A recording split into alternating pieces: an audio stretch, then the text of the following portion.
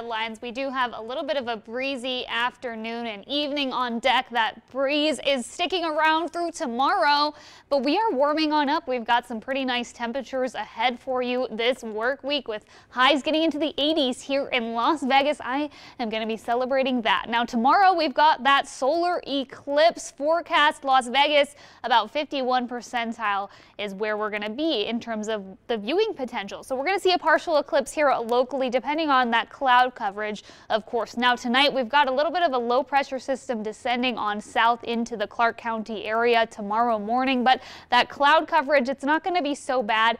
And by the time we get to Tuesday, we're going to have clear skies as that high pressure builds once again here in southern Nevada. So checking through uh, our timestamps tomorrow morning, this is 8 a.m. We've got some cloudy skies here in Las Vegas and down towards Searchlight, Laughlin, up north towards Alamo, Caliente. But here's the thing, when we get to 11 a.m., that's when we'll see the max solar eclipse. By max here in Las Vegas, that means about 50%, but we're going to see that partial eclipse around this time, and we're going to see partly cloudy skies. So the visibility is not going to be too bad for that celestial event tomorrow morning. In the evening, skies are clearing out and for Tuesday we are going to have that sunshine start to build on into the region. The wind tomorrow is going to be picking up. We're looking at wind speeds up to 20 miles per hour in the afternoon, even strong in the morning here. This is 9 a.m., 14 miles per hour towards downtown. In the evening, gusts up to 30. So it is going to be on the breezy side for your Monday, Tuesday.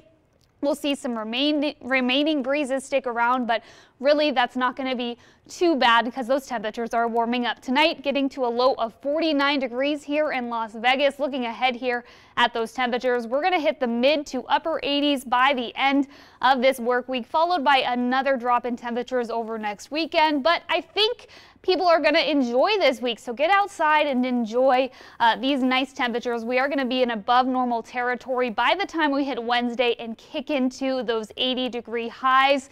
Temperatures do cool down after that though next weekend. So make sure you can get out and enjoy these uh, nice warm days ahead. Alyssa.